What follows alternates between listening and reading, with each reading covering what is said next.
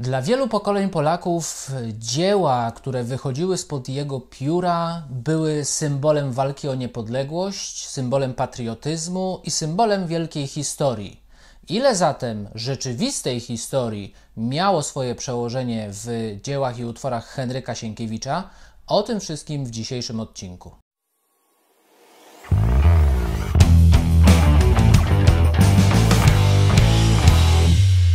Mamy początek XX wieku. Dokładnie od roku 1901 przyznawana jest jedna z najważniejszych nagród, światowych nagród. Ona oczywiście przyznawana jest w różnych kategoriach. Wśród nich jedną z głównych kategorii jest literatura. I właśnie z początkiem XX wieku, gdy państwo polskie jeszcze nie funkcjonuje na mapach Europy i świata, literacką Nagrodę Nobla mm, zdobywa Polak, zdobywa wszystkim nam chyba znany, mam nadzieję, że znany, Henryk Sienkiewicz. Henryk Sienkiewicz żyjący w latach 1846-1916. Człowiek, który stworzył przeogromne i przeważne dzieła literackie, nie tylko w zakresie literatury polskiej, ale także europejskiej i światowej. Człowiek, którego dzieła pobudzały Polaków do pamięci narodowej, do walki o niepodległość, które cały czas otaczały delikatnie płonący płomień miłości do mm, ojczyzny, która znajduje się pod zaborami. Niemniej jednak przez wiele wieków, przez wiele lat, yy, Dzieła Henryka Sienkiewicza uchodziły w Polsce jako doskonałe podręczniki do nauczania, do poznawania polskiej historii. Należy jednak e, zadać pytanie, czy rzeczywiście w dziełach e, autorstwa Henryka Sienkiewicza polska historia była w 100% przedstawiona w sposób właściwy, w sposób zgodny z faktami i czy na pewno w dziełach Sienkiewicza możemy zaczytywać się jak w najlepszych podręcznikach do historii. Weźmy dzisiaj pod uwagę jedno z jego największych, najważniejszych dzieł, czyli Potop. Słynny Potop i wiele opowieści związanych z tak zwaną drugą wojną północną. Bo moi drodzy, z pewnością wielu z Was słyszało o określenie najazdu czy też napaści wojsk szwedzkich na Rzeczpospolitą jako określenie tego typu y, wydarzenia jako potop szwedzki. Natomiast czy ktoś z Was słyszał, że w powszechnym mniemaniu i wiedzy historycznej to właśnie wydarzenie nazywane jest drugą wojną północną. Troszeczkę bardziej skomplikowana nazwa, no bo ona już nam się kojarzy z wielkimi, ważnymi, ale też czasami nudnymi wydarzeniami historycznymi, których dat musieliśmy się uczyć na pamięć. Henryk Sienkiewicz wziął y, właśnie to wydarzenie, czyli potop szwedzki, jako tło, jako kanwę opowieści, którą planował snuć y, w nomen omen dziele nazwanym potopem. Potop szwedzki, który miał miejsce w polskiej historii w latach 1655-1660, to było jedno z ważniejszych wydarzeń politycznych, wojskowych, militarnych, które trawiło Rzeczpo Rzeczpospolitą w wieku XVII zresztą w polskiej historii i w polskiej historiografii nie bez kozery wiek XVII nazywany jest wiekiem wojen i bitew, ponieważ gdyby spojrzeć z szerszej perspektywy na ten okres, to istotnie Rzeczpospolita w tamtym czasie bez wytchnienia prowadziła coraz to nowsze konflikty. No i właśnie Sienkiewicz tworząc w drugiej połowie XIX wieku swoje dzieło, e, osadza realia tej książki w latach potopu szwedzkiego, no i w tym momencie mamy, jak żeby inaczej, tak jak w przypadku innych dzieł Sienkiewicza, do czynienia z wielką polską historią. No i oczywiście, jeżeli chodzi o potop, jednym z głównych, najważniejszych wydarzeń, które nam się, które nam się tam rysuje, to jest bohaterska obrona Jasnej Góry. Słynny klasztor jasnogórski, znajdujący się w Częstochowie, to naturalnie miejsce wielu pielgrzymek chrześcijan, naturalnie to miejsce symboliczne dla historii, kultury państwa polskiego, ale to jak wiemy też z lektury dzieła e, Sienkiewicza, miejsce bardzo ważne, jeżeli chodzi o kanwę jego opowieści.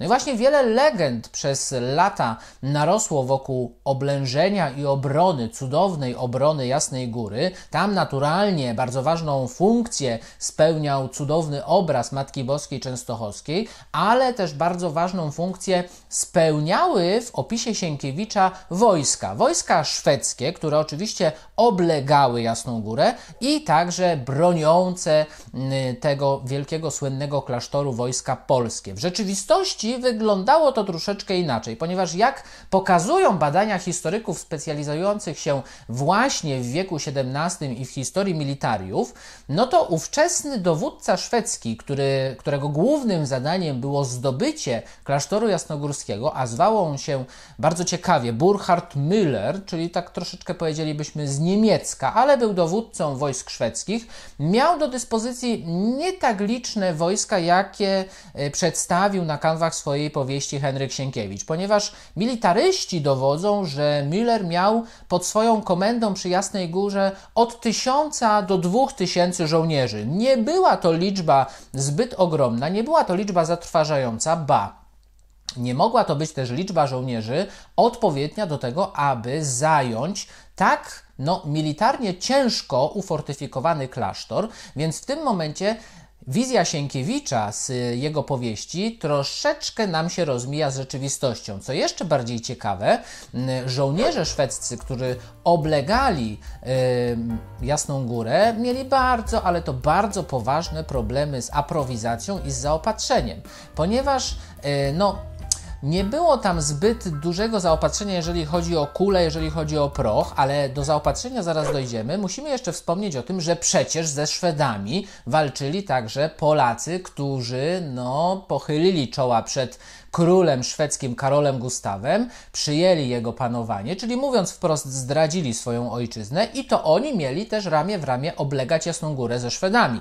Jak było w rzeczywistości? Ano w rzeczywistości, jak się domyślacie, było troszeczkę inaczej, ponieważ ci polscy żołnierze, oni nie bardzo garnęli się do tego, aby oblegać Jasną Górę ze Szwedami. Co prawda złożyli hołd szwedzkiemu władcy, ale krwi za y, szwedzkie zwycięstwo przelewać nie chcieli. Wracajmy zatem do tej aprowizacji, ponieważ tak jak powiedziałem, Szwedzi e, w rzeczywistości mieli bardzo z nią poważny problem. Sienkiewicz opisał to troszeczkę inaczej, ponieważ tam w tych jego opisach widzimy bardzo mocne, bardzo wyraźne nastawienie Szwedów na to, aby y, zająć klasztor jasnogórski i oni na y, kartach powieści Sienkiewicza nie szczędzili wysiłków ani broni, żeby zdobyć ten klasztor, natomiast w rzeczywistości Szwedzi, mówiąc wprost, w pierwszych dniach oblężenia Jasnej Góry, mm, mówiąc kolokwialnie, wystrzelali się z większości swojej amunicji, ponieważ już po pierwszym ostrzale Jasnej Góry zaczęli odczuwać bardzo, ale to bardzo wyraźne braki e, w kule armatnie, w proch, mm, no i zaczęły się ich powolne, powolne problemy z wojskową aprowizacją. No i tutaj z punktu widzenia militarnego Szwedzi w rzeczywistości pod dowództwem Millera naprawdę mm, bardzo licho podeszli do oblężenia i do zajęcia Jasnej Góry.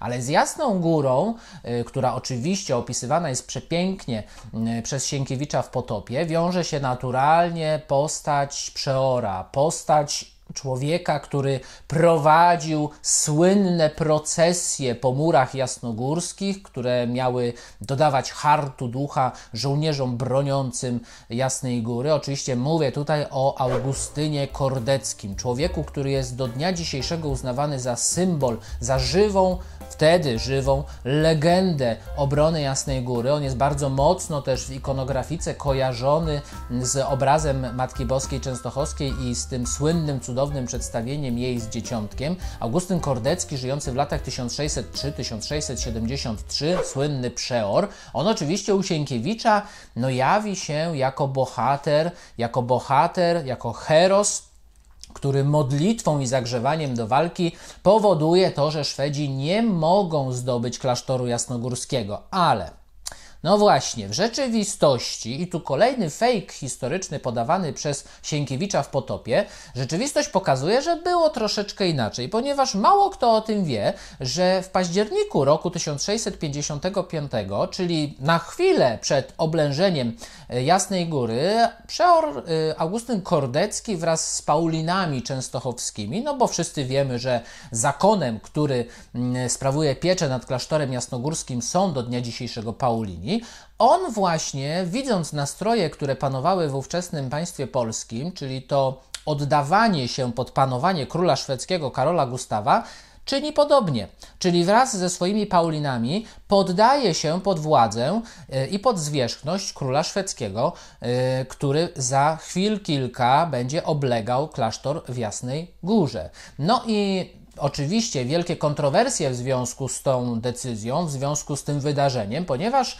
mm, wśród historyków, w kręgach historycznych do dnia dzisiejszego to właśnie wydarzenie i opinie na ten temat budzą wielkie kontrowersje, ponieważ dowiódł temu szwedzki historyk, co ciekawe, szwedzki historyk powiedział właśnie i wynalazł w źródłach historycznych te zapisy, no i polscy historycy do dnia dzisiejszego toczą z tą tezą szwedzką bardzo zacięte boje, ponieważ muszą stawić czoła mm, legendzie, która narosła wokół Kordeckiego, ale ze źródeł historycznych wynika, że Kordecki istotnie z Paulinami złożył hołd przed szwedzkim królem, no a później to właśnie Sienkiewicz ubrał go w szaty wielkiego obrońcy Jasnej Góry.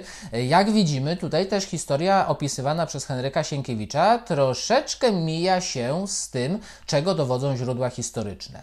Kolejny aspekt opisywany przez Henryka Sienkiewicza w Potopie, aspekt bardzo ważny z punktu widzenia historycznego, no to jest oczywiście sytuacja i postać wielkiego zdrajcy, człowieka, który okrył się hańbą, człowieka, który uznawany jest nie tylko przez literaturoznawców, przez historyków, ale także i przez zwykłych obywateli polskich za symbol zdrady narodowej. Mówię tu oczywiście o hetmanie wielkim litewskim, o wojewodzie wileńskim, żyjącym w latach 1612-1655, czyli Janusz Radziwił. Janusz Radziwił to ta mroczna postać z kart powieści Henryka Sienkiewicza. Zresztą e, w tą e, rolę bardzo mocno i bardzo symbolicznie e, wgryzł się aktorsko genialny polski aktor Władysław Hańcza w ekranizacji Potopu w reżyserii e, Jerzego Hoffmana, ale dzisiaj nie o Hoffmanie, dzisiaj o Sienkiewiczu i o prawdzie historycznej,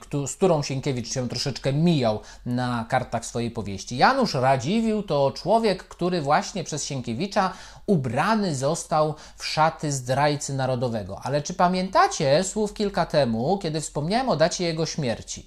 Rok 1655. Będzie ona miała niebagatelny wpływ na całą opowieść o Januszu Radziwilu. Ponieważ Janusz Radziwiłł jako człowiek, który na wschodnich rubieżach ówczesnej Rzeczypospolitej no, miał zadanie dosyć mocne, ponieważ musiał skupić się na mm, zagrażającym ciągle bezpieczeństwu granic polskich państwie moskiewskim, musiał z tym państwem moskiewskim toczyć boje, no i właśnie między innymi w latach potopu szwedzkiego Janusz Radziwiłł toczył te boje z Moskalami o to, aby Moskali trochę utemperować, a przede wszystkim, aby mm, jak gdyby wygumować to ogromne zagrożenie ze strony e, państwa rosyjskiego. No i wojna polsko-rosyjska toczona w latach 1654-1667 to jest oczywiście fakt historyczny. I teraz zwróćmy uwagę na lata, których toczyła się ta wojna polsko-rosyjska, no i nałóżmy jak na y, zasadzie kalki lata potopu szwedzkiego. I widzimy tutaj, że no, Polska w tym momencie, Rzeczpospolita w tym momencie znajduje się w bardzo nefralgicznym położeniu, ponieważ toczy bój z dwoma wielkimi ówczesnymi europejskimi państwami. No i obrońcy Janusza Radziwiła mówią, że Janusz Radziwił musiał zrezygnować z pewnego rodzaju swobody, czyli ergo musiał oddać hołd i sprzymierzyć się z królem szwedzkim, ponieważ na głowie miał wtedy walkę z państwem moskiewskim, walkę z Rosjanami.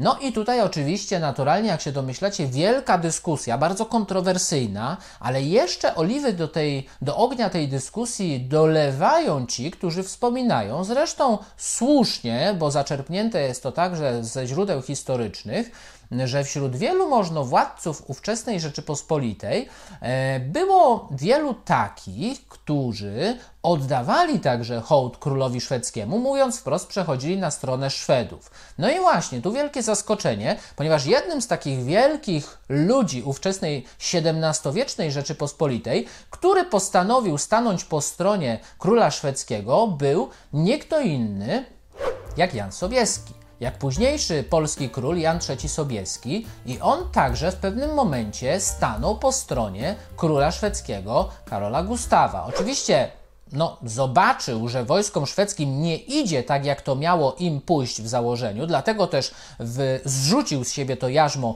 szwedzkiego mm, władcy i szwedzkiego panowania, przeszedł oczywiście do obozu polskiego, no i delikatnie też wygumował tą hańbę ze swojej historii. Janusz Radziwiłł nie było mu dane, aby tego dokonał, aby w porę przeszedł na stronę polską, aby porzucił to jarzmo panowania e, szwedzkiego i tych szwedzkich zależności, ponieważ, i tu wjeżdża nam właśnie data jego śmierci, mamy rok 1655, czyli praktycznie sam początek II wojny północnej, potopu szwedzkiego, no i w nocy z 30 na 31 grudnia tegoż roku Janusz Radziwiłł umiera. Umiera w bardzo nefralgicznym punkcie, ponieważ jeszcze wtedy losy Rzeczypospolitej się ważą, jeszcze jeszcze nie jest do końca powiedziane, czy Rzeczpospolita przegra wojnę ze Szwedami. No i w tym momencie, jeżeli istnieje takie prawdopodobieństwo, że jeżeli Janusz Radziwiłł by przeżył jeszcze kilka lat, to historia mogłaby się potoczyć zupełnie inaczej. Być może e, przetarłby oczy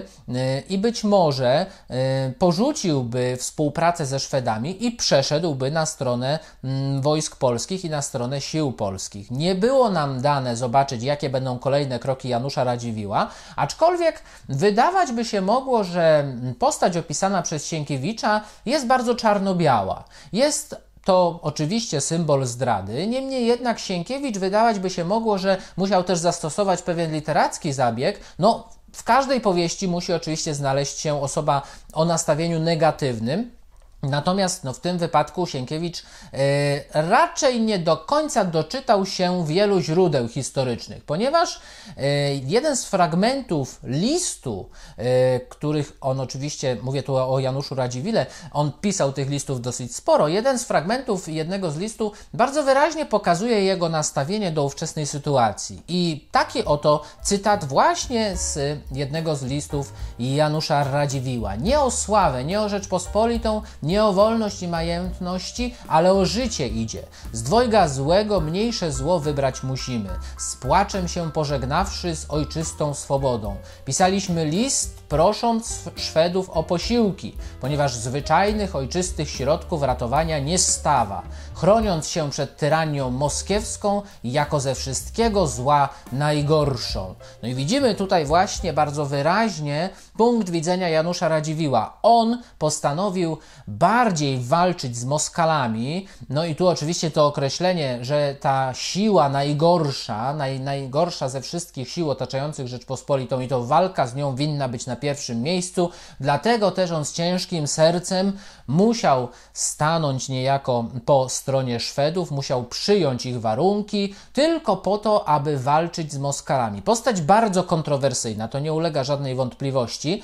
ale wydawać by się mogło, że z punktu widzenia historycznego nie tak bardzo czarno-biała, jak ją właśnie przedstawił Henryk Sienkiewicz na kartach potopu.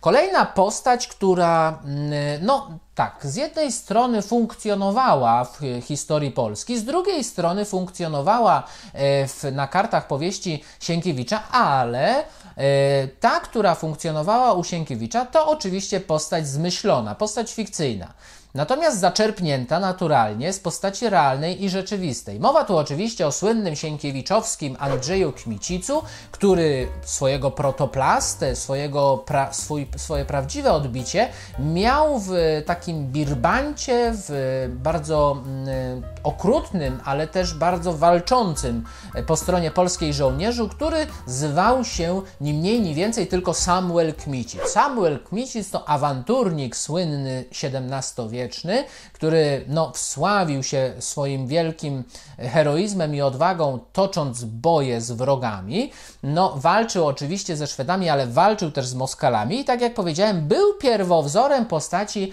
Andrzeja Kmicica. Powiedzmy zatem słów kilka więcej, ponieważ y, na kartach potopu mamy bardzo wyraźnie zaznaczoną relację pomiędzy Andrzejem Kmicicem a Januszem Radziwiłem.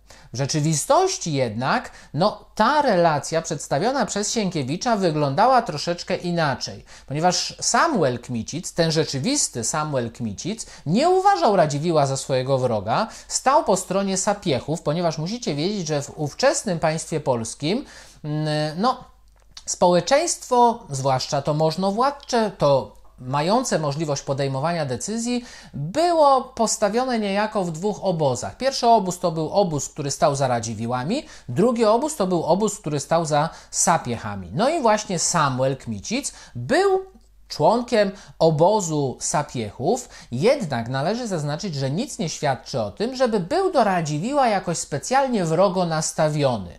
E, co ciekawe, Oczywiście argumentem ku poparciu tej tezy może być fakt, że Samuel Kmicic wystąpił nawet jako mediator, jako pewnego rodzaju pośrednik pomiędzy Radziwiłem i Janem, Janem Kazimierzem, królem polskim, ponieważ Jan Kazimierz w pewnym momencie starał się przekonać Radziwiłów, a w zasadzie Janusza Radziwiła do tego, aby stanął po stronie obozu polskiego, no i nęcił go bardzo mocno zachętami przeróżnego rodzaju, między innymi powiedział nawet polski król Jan Kazimierz, że zwróci zagarnięty Radziwiłom majątek, jeżeli tylko Janusz Radziwił stanie po jego stronie. No i właśnie w tych mediacjach między polskim władcą a Januszem Radziwiłem wiodącą rolę wiódł Samuel Kmicic.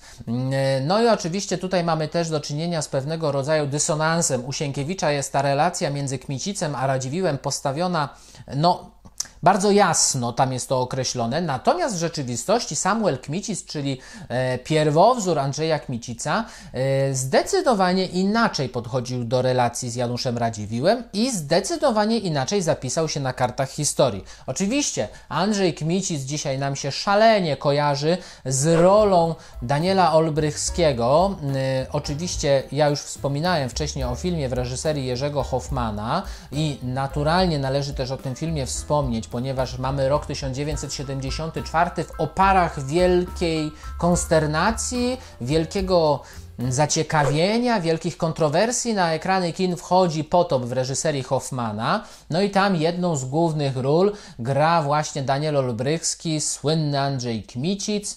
E, no i teraz e, nie bez kozery, kolejna ciekawostka, że jeden z akademików znajdujących się w Opolu nosi właśnie nazwę Kmicic, ponieważ ci, którzy śledzą historię Opola, historię Uniwersytetu Opolskiego wiedzą doskonale o tym, że ojcem chrzestnym właśnie tegoż akademika jest Daniel Olbrychski, który przyjechał wraz ze swoją ówczesną partnerką Marylą Rodowicz do Opola, aby wziąć udział w oficjalnym chrzcie, w oficjalnym otwarciu akademika Kmicic. Kmicic. Zostawiamy Kmicica, tego oczywiście w roli Olbrychskiego, tego rzeczywistego, czyli Samuela Kmicica. No i naturalnie należy wspomnieć na zakończenie o tym, że wiele z postaci, które stworzył Henryk Sienkiewicz na kartach swoich książek, to naturalnie postacie fikcyjne. No, wszyscy płakali nad tym, jak giną podbipięta w ogniem i mieczem. Wszyscy znają też pewnego y, otyłego, bardzo rubasznego, nie stroniącego od alkoholu jegomościa, który wpisał się w polską kulturę, w polską historię, oczywiście y, z punktu widzenia fikcyjnego, bo ta postać także nie istniała. Mówię tutaj oczywiście o Nufrym Zagłobie, który był takim śmieszkiem troszeczkę, rozbawiał troszkę na kartach powieści Sienkiewicza, ale mm, jedno jest warte zaznaczenia, że zapisał się w polskiej świadomości e, właśnie jako jedna z głównych postaci, które wyszły spod pióra polskiego noblisty. Jak widzicie, tych dysonansów pomiędzy powieścią Sienkiewicza a pomiędzy prawdziwą, realną, udokumentowaną historią jest sporo, ale dzisiaj opowiedzieliśmy li tylko i wyłącznie o potopie. W innych dziełach Henryka Sienkiewicza Także dosyć często jego fabuła mija się z historią. Do tych innych dzieł być może kiedyś wrócimy. Za dzisiaj wielkie dzięki. Oczywiście zachęcam do tego, aby subskrybować nasz kanał. Zachęcam do tego, aby dzielić się swoimi wrażeniami. No i przede wszystkim zachęcam do tego, aby śledzić kolejne odcinki cyklu dawno temu.